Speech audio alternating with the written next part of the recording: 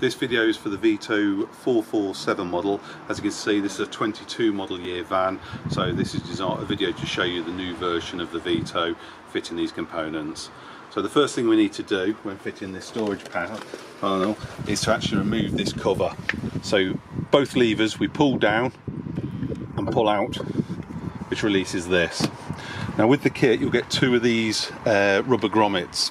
So these heat up, can be heated up to make them more pliable if you need to be, but we need to put one in here and one in here.